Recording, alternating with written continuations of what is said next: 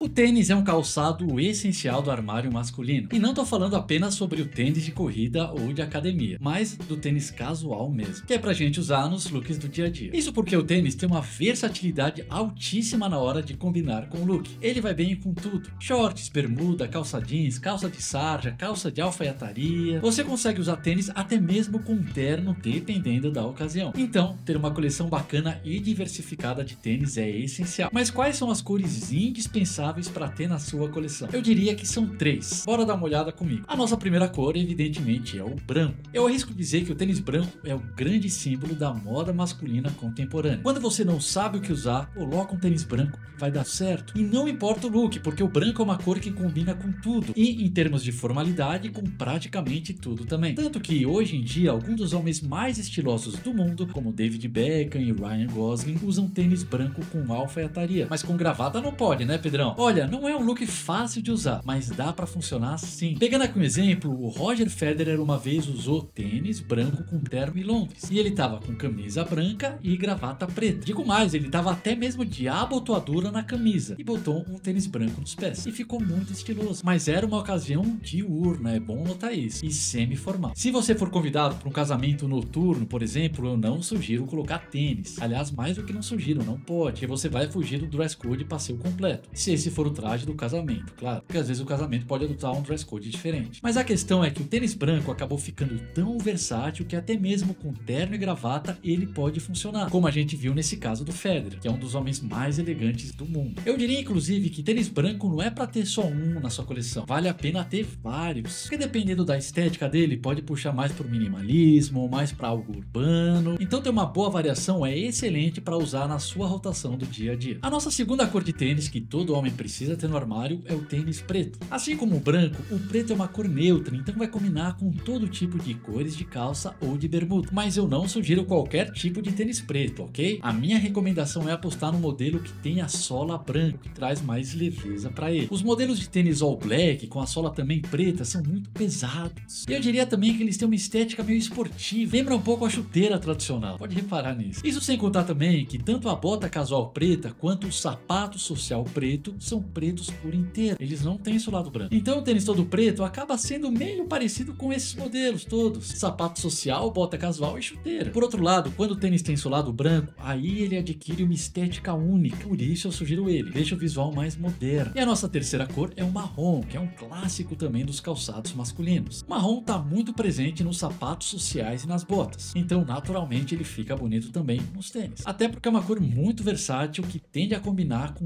todo tipo de roupa. E a mesma lógica do tênis preto em relação à sola vale para o marrom. O ideal é apostar numa sola branca para trazer leveza e destaque para o tênis. Se você optar por uma sola escura, pode parecer uma cópia mal feita de um sapato social ou de uma bota rústica. Então, sola branca. E o tênis marrom tem uma vantagem também que quando a gente quer deixar o look um pouco mais sério, digamos assim, ele funciona muito bem, porque o tênis branco e o preto são mais casuais, mais modernos. O tênis marrom já é um pouquinho mais tradicional. Essas são, portanto, as três cores essenciais de tênis que todo homem precisa ter no seu armário: branco, preto e marrom. Existem também outras cores que ficam ótimas no tênis. Uma delas é o cinza, outra é o azul marinho. Eu acho que são opções legais para ter na sua coleção. Cinza e azul marinho seriam, digamos assim, um extra para quem tá afim de ter mais variedade. Então diz para mim aqui nos comentários, quais são as suas cores preferidas de tênis? A minha com certeza é o branco. Eu tenho mais de 10 variações na minha coleção. Ou seja, ele é de longe o meu preferido. E se você gostou desse vídeo, já deixa um like para apoiar o canal do